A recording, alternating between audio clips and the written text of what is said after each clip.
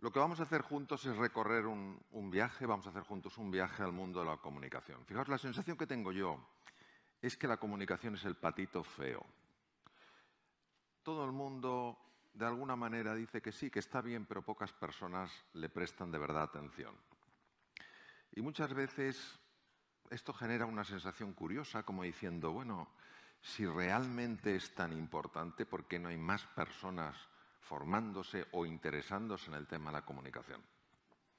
Y os voy a contar una historia que yo viví, que va a servir como una metáfora. O sea, no tiene en principio que ver nada con la comunicación, pero también tiene que verlo todo. Cuando hemos escuchado, yo por lo menos he escuchado esta mañana a los ponentes magníficos que ha habido aquí, todos tenían un regalo para darnos, ¿verdad? Cosas interesantes que podemos aplicar a nuestra vida. Algunas serán más aplicables, otras menos, pero todos venían con su regalo.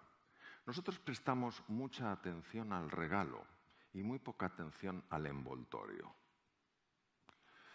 Yo he visto sesiones en las que personas con un inmenso regalo han puesto 40 PowerPoints delante de la audiencia, la gente se estaba cayendo a pedazos y seguían. ¿El regalo era bueno? Sí, decían cosas súper interesantes, pero el envoltorio no era el adecuado. Yo os quiero hablar del envoltorio. ¿Por qué el envoltorio? Porque el regalo ya lo sois, no es que lo tengáis, es que lo sois. Todos los que estáis aquí, todos sois un regalo para el resto del mundo. Pero como todo en la vida, los regalos tienen que estar bien envueltos. ¿Por qué es el patito feo? Porque cometemos un grave error. Pensamos que hablar es comunicar y nos sorprendemos de que después de pasar un tiempo con una persona dé la sensación de que no se ha enterado de nada. Y esto nos produce perplejidad. Decimos, ¿cómo es posible? Porque hemos hablado, no hemos comunicado. Vosotros sabéis perfectamente que hay gente que sin hablar puede comunicar mucho. Y hay gente que hablando un montón no comunica nada, porque comunicar es llegar. No es partir, es llegar. Y para llegar hay que tener en cuenta una serie de cosas, porque si no todo es un partir, y claro, partir y partir y no llegar es hablar, pero no es comunicar. Entonces, quiero poner para vuestra reflexión algunas de las grandes dificultades que tenemos para comunicar. Algunas de las grandes dificultades que todos experimentamos como seres humanos, ¿eh? para poder alcanzar la mente y el corazón de la otra persona. La primera es que la comunicación auténtica es extraordinariamente compleja por nuestra condición humana.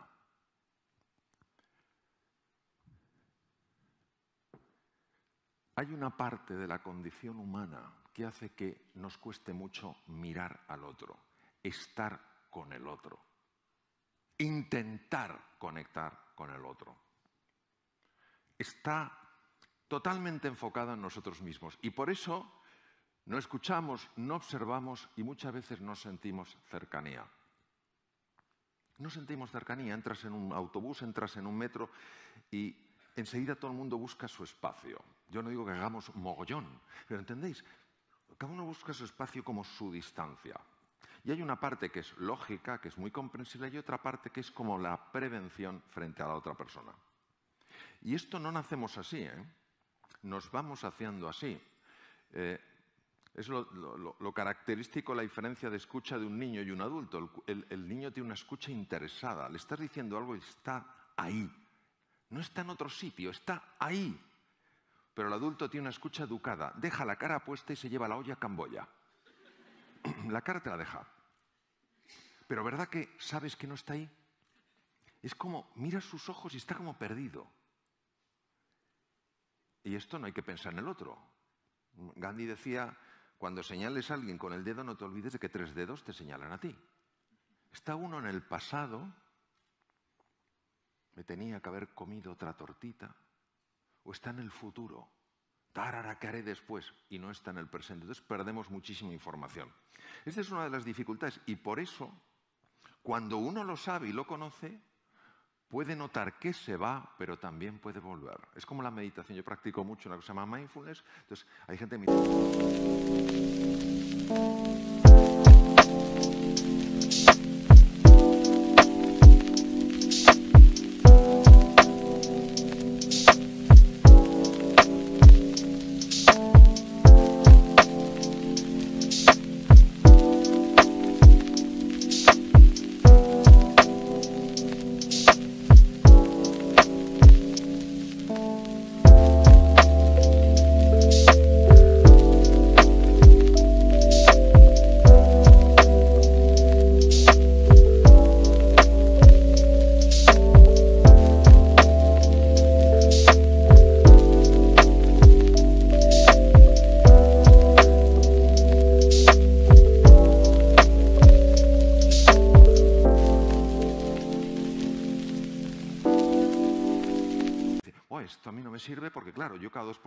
pensamientos. Y digo, yo en una sesión de mindfulness de una hora puedo tener 150 pensamientos.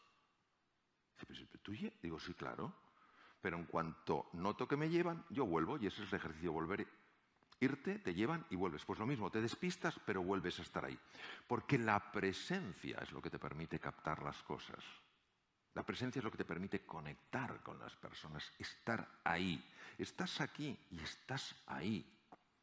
Entonces, ese es el primer desafío que tenemos. El segundo es que comprender un mensaje lleva tiempo.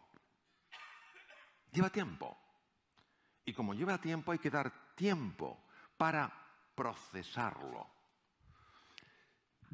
Lo más valioso cuando tú compras un libro y lees un libro no es el momento en el que lees, es el momento en el que te paras. ¿Y por qué te paras? Porque estás reflexionando sobre lo que has leído. Eh, ¿Me vais siguiendo? ¿A que sí? Entonces, claro, lo mismo pasa en la comunicación. En la comunicación, la persona que está, como en este caso yo, transmitiéndoos un mensaje, ha de dejar un espacio. Porque vuestras potentísimas mentes están tirando de vuestra experiencia, de vuestras vivencias, y están combinándolo con los mensajes y señalándoos un camino, una guía, una referencia a seguir. Si se habla muy deprisa, sobre todo en terrenos complejos, uno se pierde no por falta de inteligencia, sino por falta de silencio. Hay una cosa preciosa que es la música. Ya hemos visto antes un ejemplo de un músico colosal aquí, que nos ha deleitado a muchísimos, por no decir a todos. La música Claro que están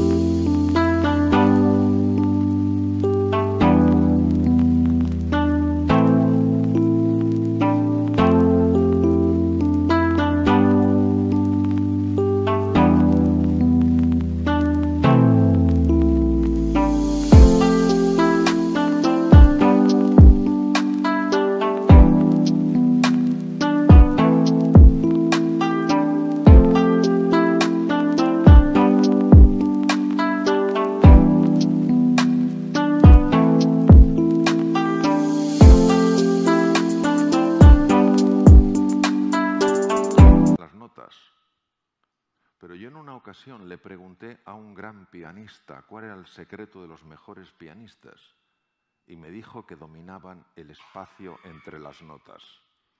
El espacio entre las notas es el silencio. Es curioso cómo donde no hay nada acaba siendo lo más importante para generar algo donde está todo. ¿Mm? Por eso, los temas de silencio tienen muchas ventajas y además no solo te permiten conectar y ayudar a reflexionar, es que además el propio silencio calma al orador. Cuando tú guardas tu espacio silencio puedes respirar de forma más profunda. Cuando respiras de forma más profunda estás más tranquilo, estás más tranquila. Tercer lugar, no solo es importante que lo que se cuente sea interesante, porque esto inmediatamente capta la atención, pero para que mantenga la atención tiene que ser relevante. La diferencia interesante y relevante es muy fácil. Relevante es aquello que tú ves que interesa a tu vida, que marca una diferencia en tu vida. Por ejemplo, a mí me gusta mucho el tema del espacio, me interesa, me interesa las supernovas, los agujeros negros, pero mi vida no es relevante. No es relevante. Pero a mí todo lo que tiene que ver con la condición humana, venga de la antropología, venga de la bioquímica, venga de la filosofía, venga de donde venga, no solo es interesante, sino que es relevante porque lo incorporo en mi vida. Para eso es importante entender a la audiencia.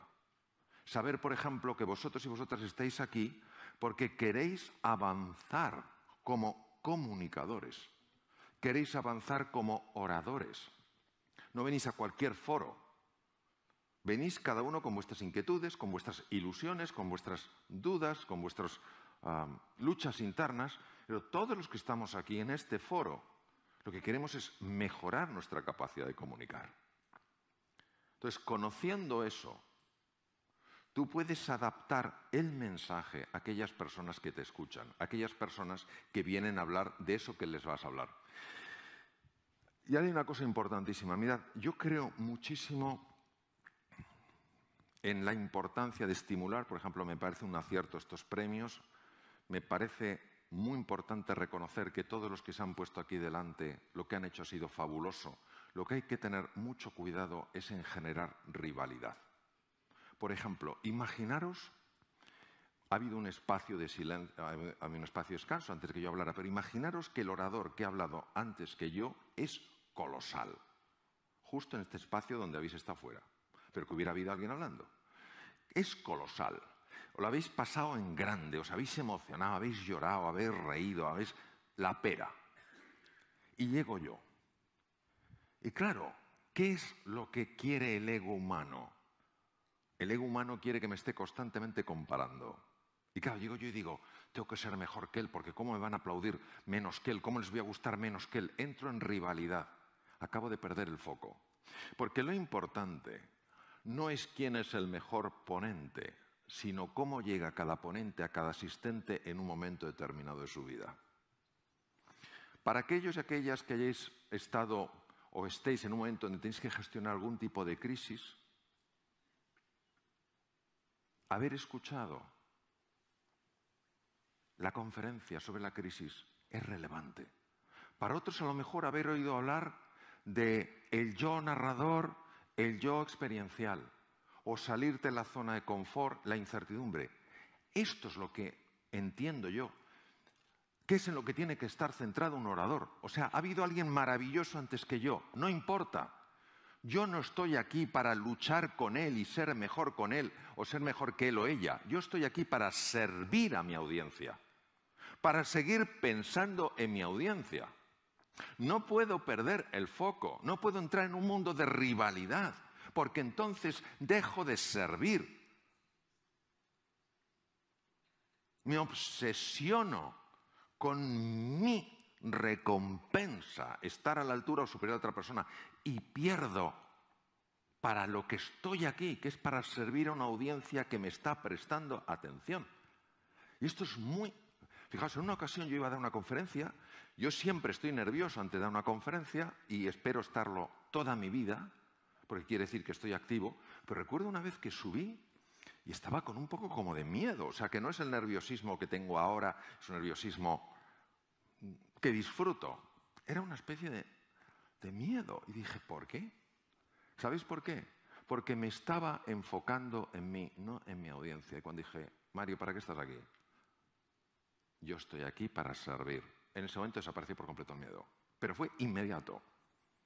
Y cuando tú lo has vivido y lo tienes experiencia directa, sabes, no te lo tienes que contar, no te lo tienes que creer, lo has descubierto, lo has visto. Otra cosa, mirad, cuando os planteéis transmitir algo, primero buscar que sea interesante. No es verdad, como se sostiene en las TED Talks, en otras cosas, no es verdad que la atención humana solo aguante 20 minutos. Alguien ha ido a una película buena de los 20 minutos y ha hecho clock. Eso no sucede. No sucede. Pero tiene que ser interesante. Tiene que haber su punto de misterio, de enigma, de provocación, de cuestión, de interacción. Tiene que mantener vivo el ánimo. Ha ser interesante. Y todos y todas tenéis, sin duda, cosas interesantísimas que compartir. Interesantísimas. Yo que viajo con bastante frecuencia fuera de España, parte me invitan igual que aquí, pues para dar conferencias y otras partes me voy con grandes o con personas que para mí son referencias, sobre todo en el campo de la ciencia, para pasar con ellos temporadas, etcétera, etcétera. Y hay veces que cuando cojo el avión de vuelta digo, ¿de quién he aprendido más? ¿De este genio al que he ido a visitar, que ha sido maravilloso conmigo, o de uno de mis compañeros? Y lo he aprendido de uno de mis compañeros, porque hizo un comentario que era justo lo que necesitaba escuchar. Entonces, primero, interesante. Lo segundo, buscar que sea sencillo. Mira, vamos a ver. Si algo no lo entiendes, no es problema tuyo. ¿Me entendéis? Hay personas que quieren presentar lo que es oscuro como si fuera profundo. No, es que lo mío es muy profundo. La audiencia no lo ha captado. ¿No está a mi nivel? yo, tengo nivel. No, perdóname. No lo entiendes ni tú es oscuro, no me lo vendas como profundo. Estudié durante dos años un máster de filosofía y humanidades en general. Hay filósofos que empiezas a leerlos y yo no entiendo cómo pueden generar esa pasión. Dices, llevo cuatro páginas y no he entendido nada. No puedo ser tan torpe. No es posible. Entonces, lo sencillo no es lo simple, es que trabajes el contenido pensando que todo el mundo puede entenderlo, hasta un niño de siete años. Hacerlo sencillo, pues si no es sencillo, no queda enganchado. Por supuesto que sea relevante, es decir, que sea algo que pueda utilizar tu audiencia, que les pueda servir en su vida para vivir con más ilusión, con más alegría, con más salud, y desde luego que sea útil útil en algo, en lo que ellos y ellas elijan. Útil. ¿Esto para qué sirve? Para nada. No sirve para nada. Para nada. Entonces, ¿para qué estoy aquí? Para nada. O sea, yo entiendo que quedarse mirando las estrellas, el mar, una montaña, parece que no sirve para nada, pero sirve para todo. Pero cuando tú das una conferencia, cuando tú presentas ese regalo que eres, hay que enfocarlo para que tenga una utilidad, para que sirven una cosa, dos cosas que las puedan aplicar en su vida. Vamos a hablar de uno de los campos más importantes, que es comunicación e intención. ¿Cuál es tu verdadera intención cuando comunicas? Cuando te subes al estrado, cuando estás abajo hablando con uno, hablando con una, ¿cuál es tu verdadera intención? Es que estas cosas creo que es interesante reflexionarlas porque te dan luz y puedes ver lo que normalmente está oscuro. Vamos a ver. Se considera uno de los mejores comunicadores de la historia, Winston Churchill. Uno de los mejores comunicadores de la historia porque fue capaz de llegar al pueblo británico en uno de los momentos más difíciles de su historia, la batalla de Inglaterra. Winston Churchill dijo que la virtud o la cualidad más importante que existía era la capacidad de comunicar. Lo dijo él. Pero fijaros qué curioso lo que dijo también. Todos quieren ser importantes, pero nadie quiere ser útil. Es que fijaros, todo tiene que ver con el foco, hacia dónde miras, dónde llevas tu energía, tu fuerza, tu pasión, tu ilusión, tu entusiasmo. ¿Qué quiere decir? Quiere decir que a todos nos gusta el aplauso, pero ¿cómo no nos va a gustar el aplauso? Si refleja el cariño, el reconocimiento de las personas, claro que nos gusta, pero si nuestro foco es el aplauso, perdemos a las personas. Perdemos a las personas. Entonces, el aplauso no puede ir de piloto, puede ir de copiloto, pero no de piloto. Porque si va de piloto, yo lo que quiero es impresionar para obtener un aplauso. Si va de copiloto, claro que me gusta el aplauso. Como a todo el mundo. pero no es lo que dirige mi comunicación, no es lo que dirige mi vida. Y esto es importante porque si esto es así, si realmente tu foco está en la audiencia, tú estás con la audiencia, estás por la audiencia y estás para la audiencia. Y esto lo haces cuando a ti las personas te importan, cuando las valoras y cuando, aunque no las hayas nunca conocido antes, las quieres. Y cuando un ser humano siente que otra persona la valora, cree en ella y la quiere, algo profundo se mueve. Nos guste o no, pasa, surge, se conmueven las entrañas. El intelecto no lo entiende, el intelecto no llega a casi nada. Pero la sabiduría profunda de todo ser humano sí sabe que hay algo potente que está actuando.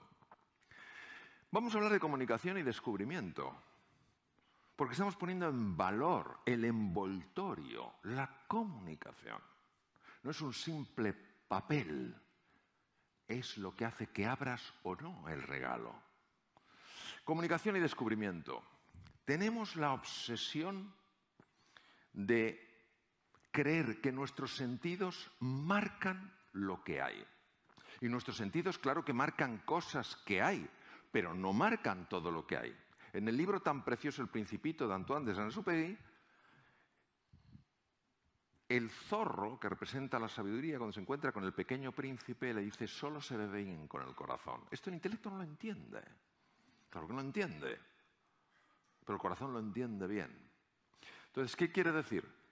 Que es fundamental que todos nosotros desarrollemos una forma de mirar, que miremos a los demás no solo en cómo se manifiestan, sino en cómo son, cómo son en su interior, que apeles a esa grandeza que hay en todo ser humano, que no les estás contando nada en lo que no crees, que estás intentando llegar a eso que sabes que está ahí. Y esto es muy importante porque cuando no te fijas tanto en el performance y si te fijas más en el potencial, empiezan a pasar cosas curiosas.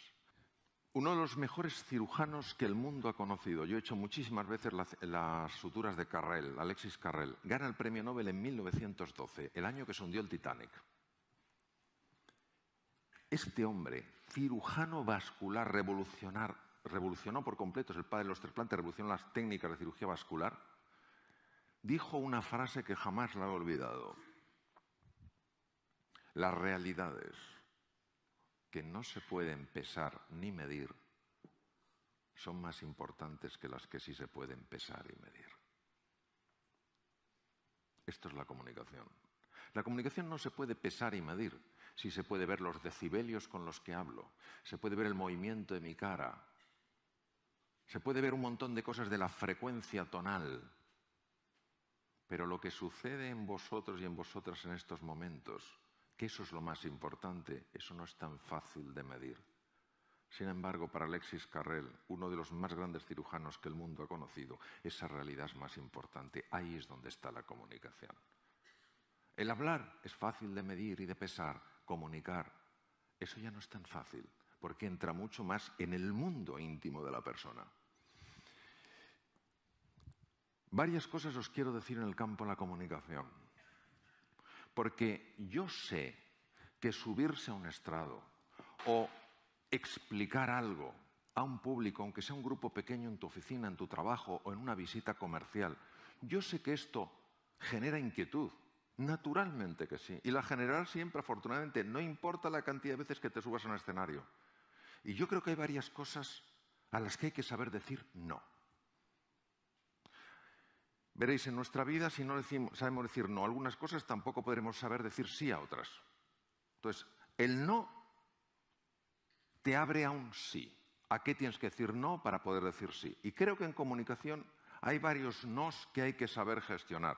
Sobre todo porque son nos que si los sabemos hacer nos van a ayudar a potenciar nuestra capacidad como comunicadores. El primer no es no busques certezas. No subas aquí con la certeza de que a la gente le vas a gustar, de que la gente te va a valorar. Yo necesito que me lo digan porque serás un rollo. ¿Dónde está mi amigo Fernando Salinero? ¿Dónde está Fernando? Fernando no busca certezas. Por eso es alguien tan querido, tan disruptivo, tan valioso como orador y como persona. Porque si buscar la certeza llega un momento en que tengo que gustarle a todos, tengo que estar cierto de que todo está. Entonces dejas de ser tú. No busques certezas. Busca oportunidades. De tal manera que si en un momento te surge una ocasión para poder hablar en público, para poder contar algo en tu oficina, en tu trabajo, en tu familia, en ese momento mira la oportunidad, es mía, sin esperar la seguridad absoluta, la certeza de que todo va a ir bien. Todos estamos aprendiendo, yo cada día. Entonces, no te obsesiones con la certeza y menos en un mundo tan cambiante. Busca oportunidades. Si buscas oportunidades, tu mente funciona a un ritmo completamente diferente. En segundo lugar, no juzgues cada día por las cosechas que recoges, sino por las semillas que plantas. Algunos de los que estáis aquí, ¿quiénes estáis aquí que no habéis recibido premio? Bien. A los que os he escuchado, a ti por ejemplo te he escuchado que me ha encantado, al resto no he escuchado porque no he llegado a tiempo. Bien, os voy a decir una cosa. Es sumamente gratificante que te den un premio.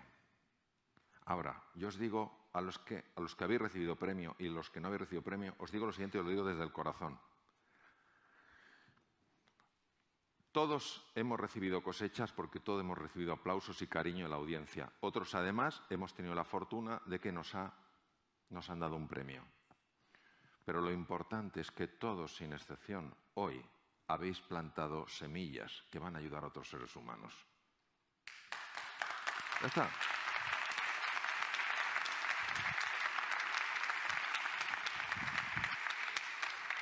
Hay una historia de un una persona que iba por el desierto, un beduino, y se había perdido en medio del desierto, calor asfixiante, se le había acabado el agua, se le había acabado la comida, llevaba días perdidos por el desierto y por fin, a cierta distancia allí, ve lo que parece que es un oasis.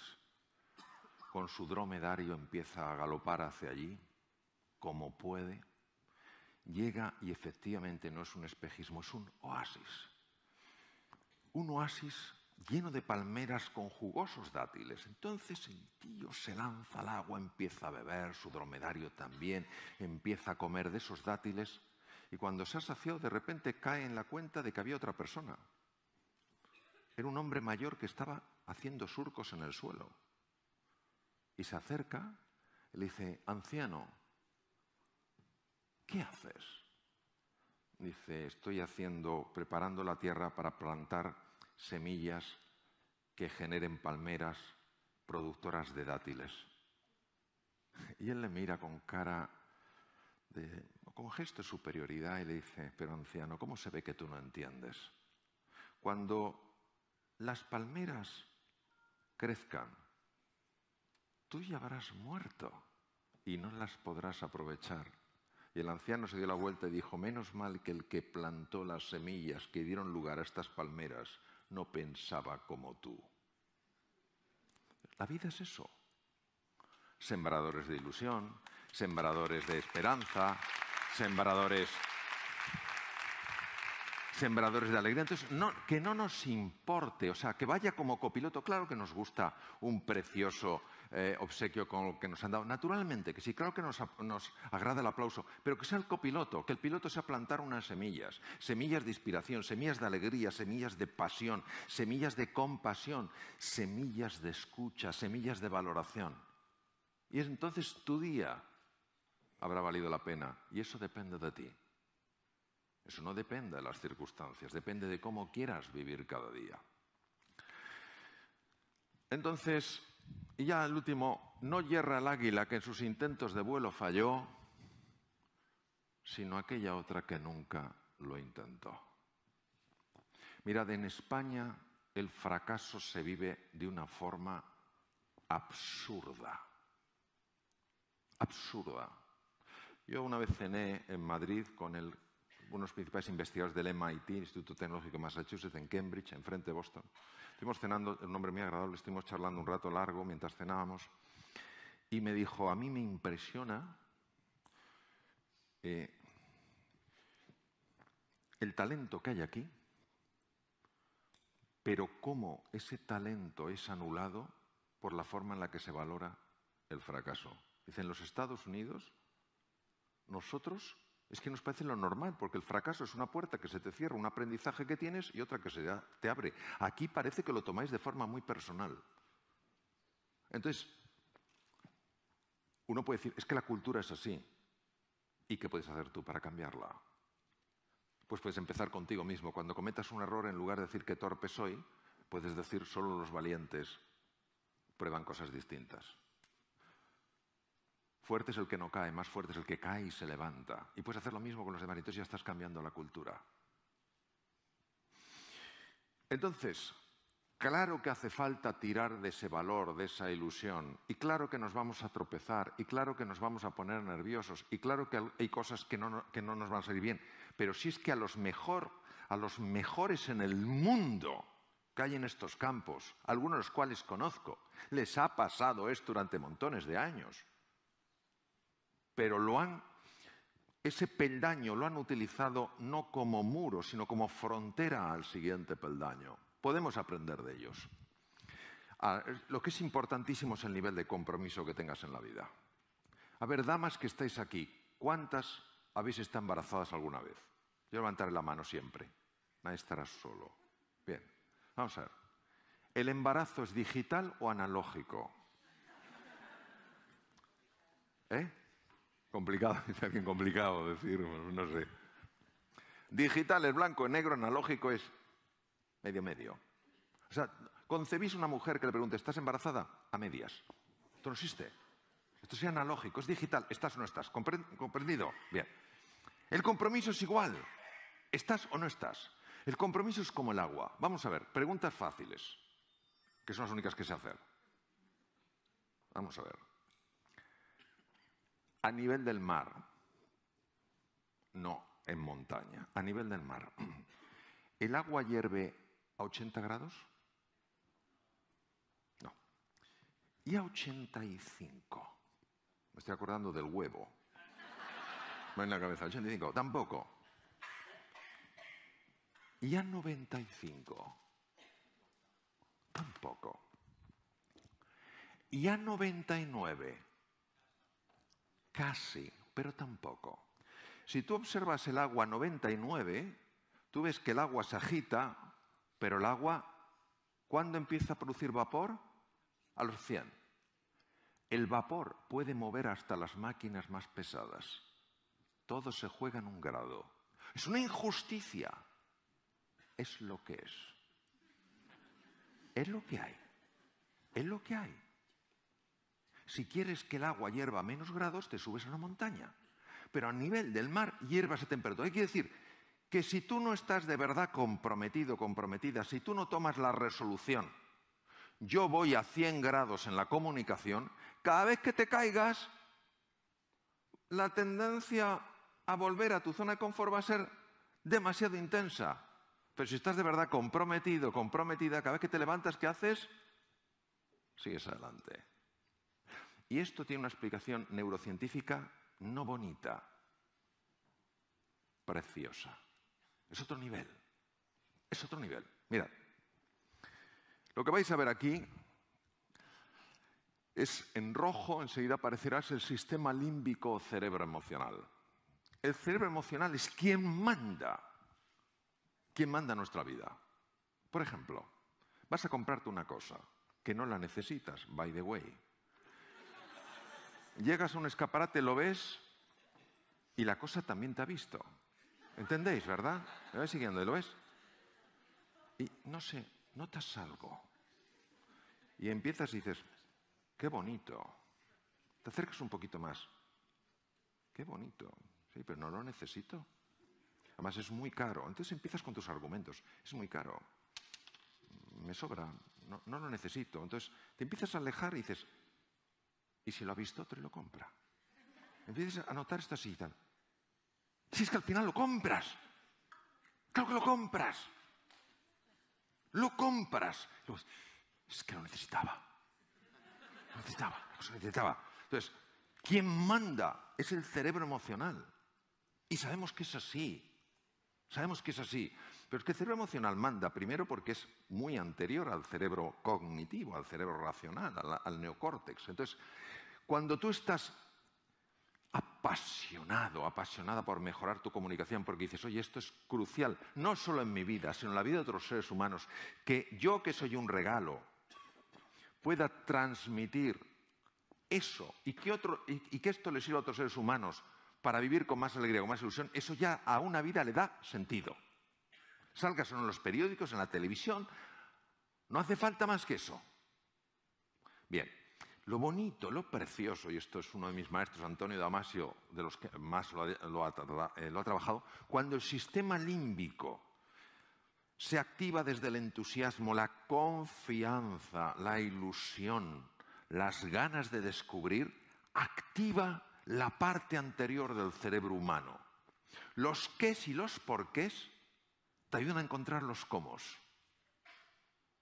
Entonces de repente es como si te hubieran hecho un trasplante de cabeza. Porque ves cosas que antes no veías. Tienes una intuición nueva. Y dices, ¿dónde sale esto? ¿Cómo se me ha ocurrido de repente improvisar esto si a mí esto de improvisar no se me da? Porque tienes recursos que solo salen a tu caminar cuando tú caminas con ilusión, cuando anticipas lo mejor. Solo si te mueves atraes recursos. Los recursos dejan de llegar a tu camino cuando tú te paras y dices, tengo que prepararme para seguir estar preparado, para que cuando me prepare volver a prepararme hasta que esté suficientemente preparado. Y entonces necesitaré un poquito más de preparación. Prepárate y una vez que tengas una preparación adecuada, ponte en marcha. Empezarán a venir recursos. Pero claro, tienes que estar comprometido pero no solamente se activa la corteza prefrontal, es que se activa algo más. ¿Por qué será?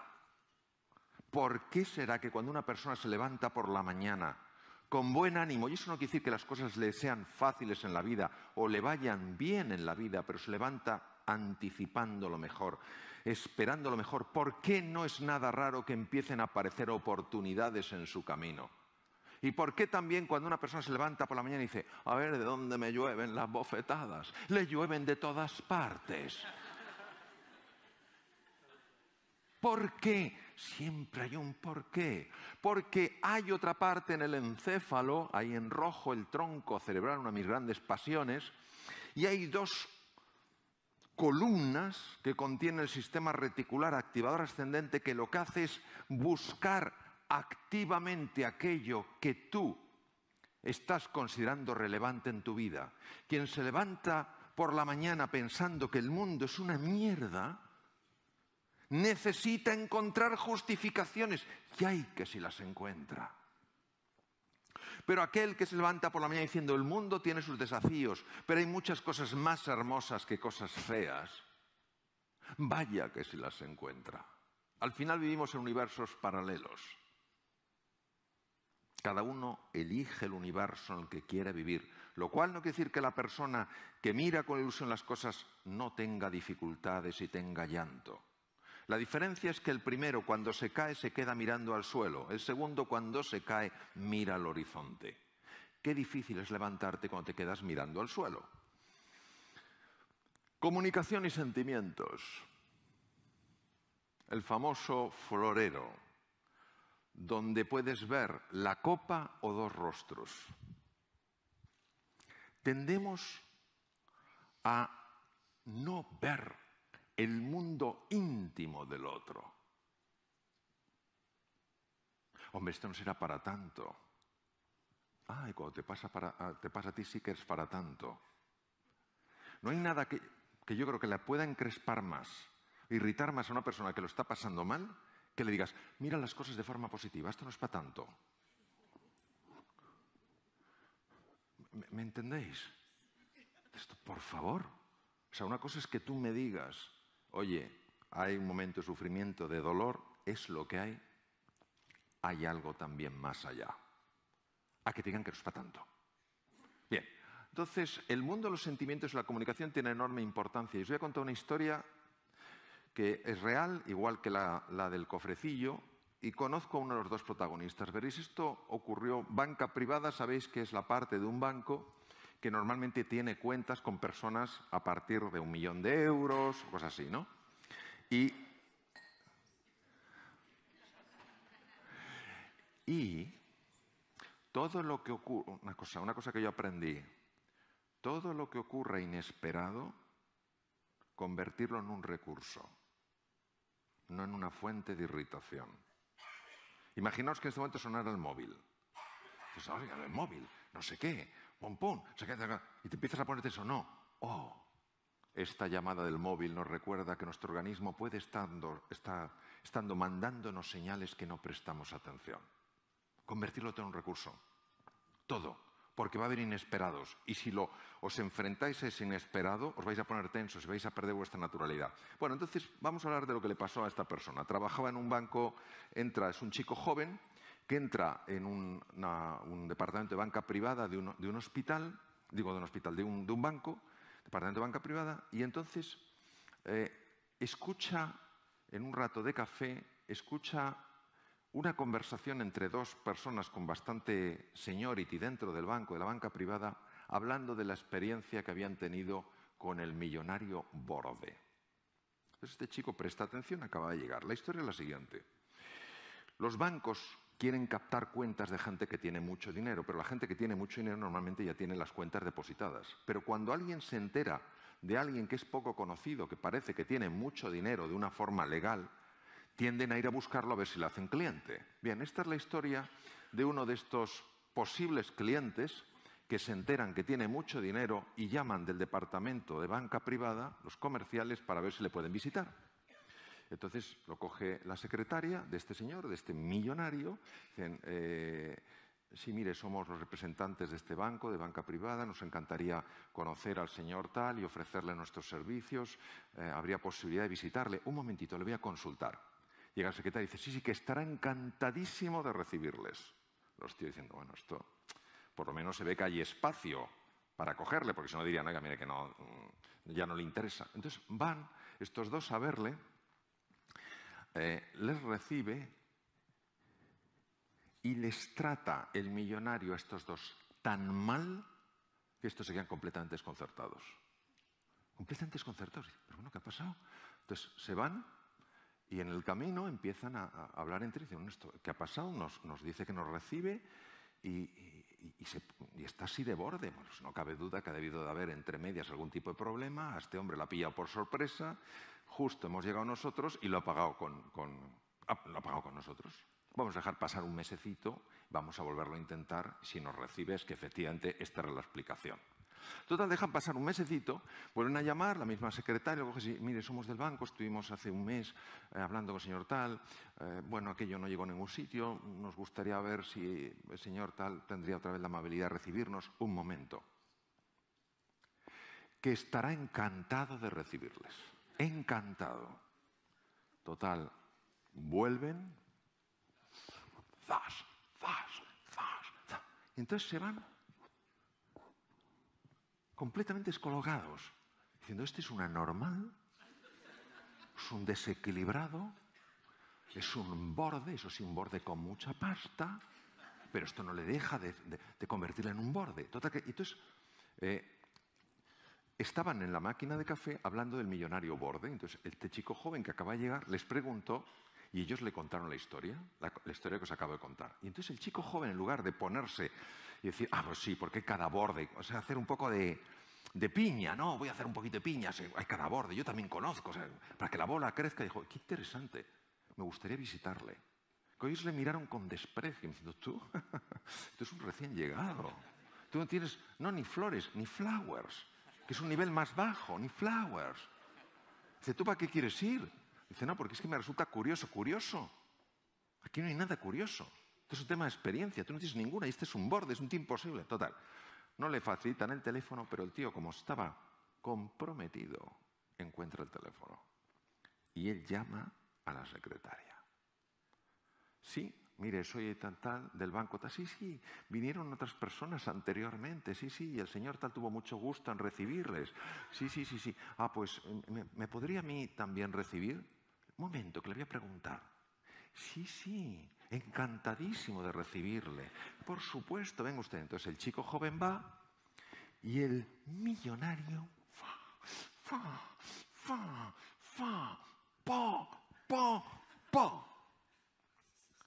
Y cuando termina, el chico le hace una pregunta. No le juzgó como los anteriores, que es lo fácil, es lo cómodo, es lo rápido, es lo inmediato, un borde. Cuando no comprendas algo, no etiquetes, pregunta. Entonces el chico joven, después de la andanada, dice, ¿usted me permitiría hacerle una pregunta? Y este se quedó, el millonario dijo, ¿una pregunta? Sí, me usted hace una pregunta. Dice, qué curioso. Mm, sus anteriores compañeros vinieron a contarme las bondades de su banco. Nadie quiso hacerme una pregunta. Me sorprende que usted me quiera hacer una pregunta, pero bueno, ya que me quiere hacer una pregunta, hágamela. La pregunta que le hizo fue la siguiente. ¿Qué tal se ha portado con usted este banco en el pasado?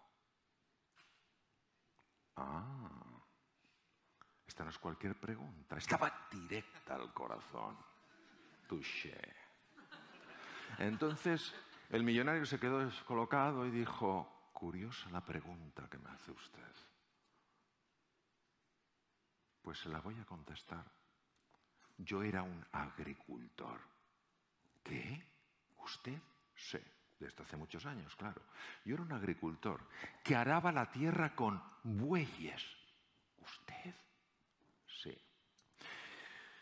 Me pasaba el día entero trabajando, pero a base de trabajar, a base de ahorrar, conseguí reunir una cantidad de dinero suficiente para comprarme un trocito de tierra que había más allá de la mía, contigo a la mía, pero ya era demasiado para poder arar con bueyes.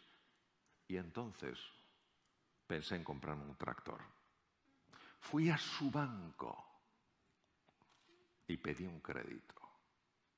Dice, verá joven, no es que no me lo dieran, es como me hicieron sentirme. La humillación que experimenté. Y ahora, ahora que soy multimillonario, ¿me ha oído usted? Multimillonario, ahora quieren prestarme su atención. El joven podía haber hecho algo que es muy natural en el ser humano, intentar justificarse. Oiga, mire, yo es que acabo de llegar. Como, como dice, agua pasada no mueve molino. Le recito todo el refranero de la lengua. No. El chico le dijo, le comprando. Mire, yo acabo de llegar al banco, pero aún así represento al banco. Y solo quiero decirle una cosa. En nombre del banco, le digo que lo siento. No muchas palabras, no mucha complejidad, pero justo lo que había que decir. El joven se levantó para marcharse y el millonario dijo, joven, siéntese, vamos a hablar. El millonario se hizo cliente del banco con la única condición de que cualquier tipo de operación financiera, cualquier tipo de contacto tenía que ser a través de este chico.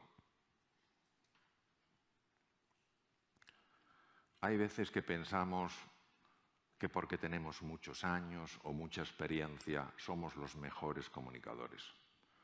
Pero la verdadera comunicación, al menos como yo la entiendo, no es el arte de hablar, es el arte de escuchar, es el arte de conectar, es el arte de descubrir qué hay más allá. Y cuando dos seres humanos conectan, y cuando yo me siento visto por ti, de una manera en la que veo que confías en mí, percibo que me ves como alguien valioso y que me llegas a apreciar, aunque apenas me conozcas, en ese momento la magia de la comunicación florece, la magia se despliega. Solo de deciros que yo estoy aquí porque ahora tengo 61 años, siendo jovencito leí un libro que sí hablaba de la historia de la medicina desde el punto de vista de la ciencia médica, la evolución de la ciencia, la evolución de la tecnología para ayudar a seres humanos enfermos a mejorar.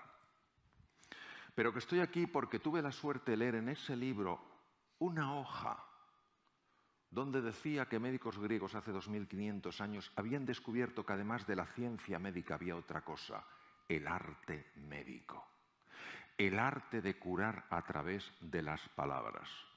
Hoy sabemos sin género de duda que cuando tú conectas con un ser humano, cuando le ayudas a sentirse valioso, querido, apreciado, capaz, inteligente, se están movilizando un montón de hormonas en las dos personas, incluso en el que observa, con un efecto muy beneficioso en la salud, tremendamente beneficioso en la salud.